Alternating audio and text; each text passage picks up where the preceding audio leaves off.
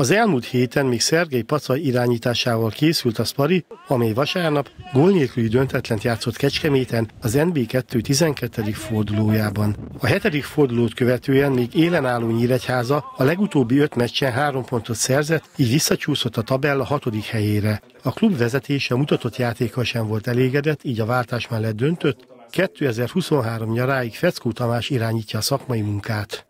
Tapasztalt szakemberről van szó, többször sikerült már neki MB2-ből feljutnia, és ami mindetől fontosabb, hogy nyíregyházi kötődésű. Nagyon jól ismeri a nyíregyházi utánpótlást, magam állíthatom, hogy név szerint ismeri az utánpótlásban futballozott tehetséges gyerekeket a mai napig.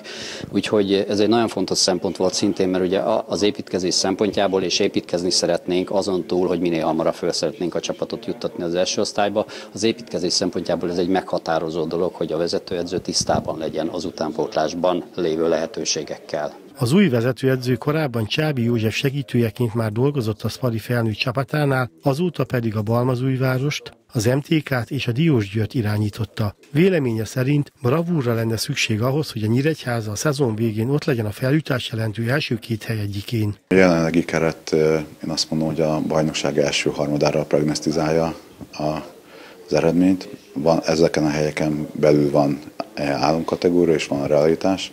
Ugye két lábbal a földön kell járni, és a reális célokat kell kitűzni, de álmok nélkül nincsen foci. És ugye nem csak a klub tulajdonosulnak, hanem, hanem rengeteg szpari szurkolónak van egy álma.